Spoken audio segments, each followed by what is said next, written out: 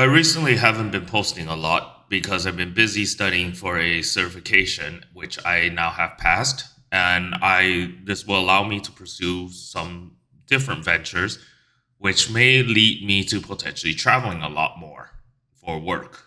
And because of this, I I never really been a huge fan of sticking to one airline or limiting myself to a certain alliance because you know sometimes schedules just don't work out. An airline may not and its alliance may not go to a particular area very well and i end up just going with different airlines.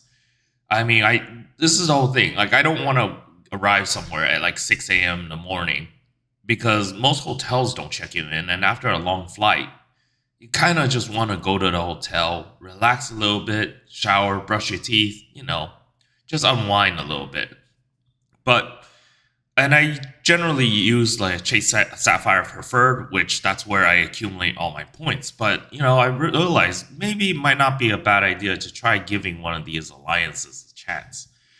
And after looking through the different programs, and with the whole recent fiasco of Delta changing and their program making it infinitely worse, and apparently fixing it or rolling it back because it was so bad, it kind of made me think a lot about these alliances. And quite frankly, they're very confusing. You got all these PQP, PQFs, and like different ways to earn points, and they don't really tell you. It's kind of uh, based on spend, it's kind of based on miles, it's a mix of it. It's rather confusing, to be honest. And after looking at the programs, I did a quick Google search and like which program is easiest to get alliance. And one of them is like Asiana, which apparently allows you to get two years to keep your to keep updating your status. So it's actually kind of makes life a lot easier to get into a higher status.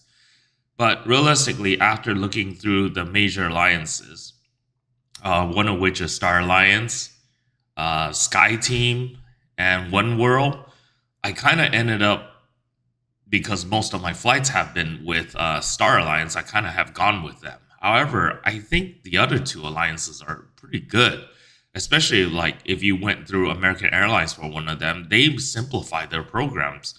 So it's actually it doesn't have any of the PQP and PQF stuff going on. But I I guess I'm potentially going to use them as my secondary alliance. But for me, I personally chose the Star Alliance because I used a lot of the airlines that were in that alliance, and I have traveled extensively using those services. And on top of that, the other airlines rewards that I kind of use a lot is Southwest because I mean it's not really a perk, but it has its definitely has its benefit with like luggage, free luggage, and flexibility. But these alliances are pretty confusing these days, and especially with the seat choice. Like basic economy doesn't give you anything. I mean, basic economy was kind of created to compete with the ultra low budget airlines. So you kind of have to book like premium economy or anything above that. So I guess realistically, I think things that I considered was how comfortable the seat was, how easy uh, the schedules were to work with and for me, who fly out of LAX, there's another consideration I do think about, and it's the position of the terminal. Terminal 1 and Terminal 7, I feel, are the easiest to get to because you don't have to sit through the whole loop of traffic. So I ended up going with them.